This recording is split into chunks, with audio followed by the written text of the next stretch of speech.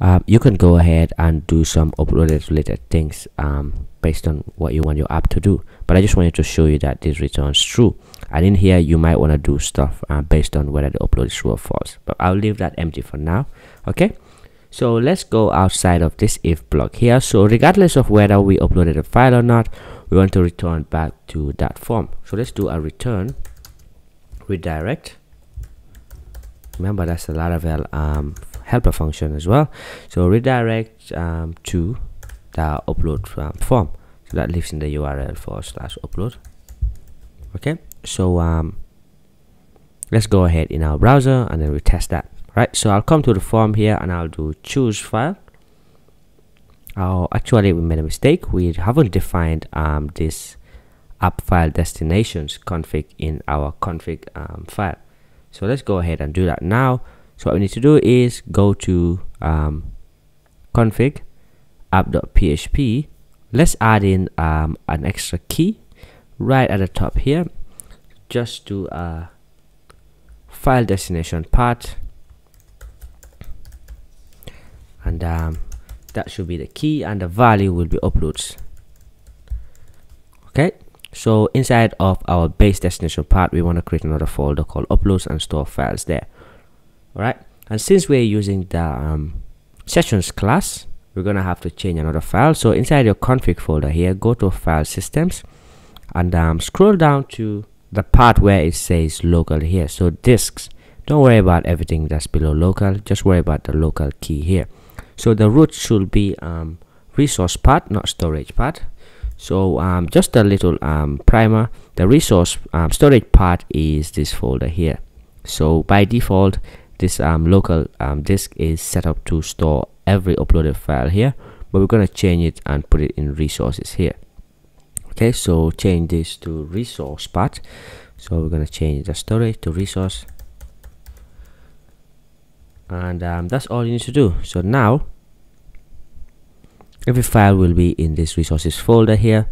And um, any part that you pass to um, the storage class here like this um, destination path will be created uh, that folder will be created in the resources folder and then any uploaded file will put in that subfolder. So let's go back to our browser. If you notice there's nothing in resources here um, like an uploads folder but once we successfully uploaded a file it should create one there. So I'll choose a file and in um, this case let's do a screenshot. Um, that's an image file that I got from Amazon and I'll open that and now we're going to do upload. It says parse error on um, line 18 app.php so let's have a look at what's there. So this file here on line 18 17 18 okay seems like I forgot a comma here because every key has to have a comma every key value has to have a comma in an array. I'll refresh that and um, let's continue and retry that. And let's see whether that uploads the file.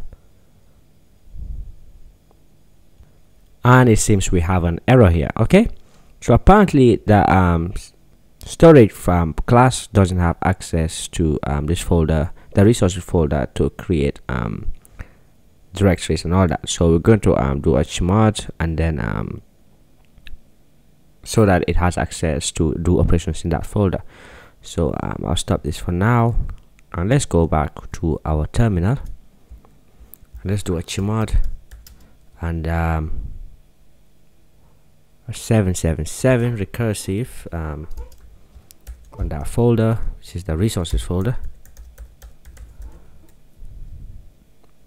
And I press enter. Now let's go back to our form and see if, if we can um, do our retry that upload again. So I'll just go here do a wait. So let's close this here. Seems like it um, has an issue. So um, let's do that it's now handle upload upload here. Okay so I'll choose the file again and um, this type is the same file. Open and I'll upload.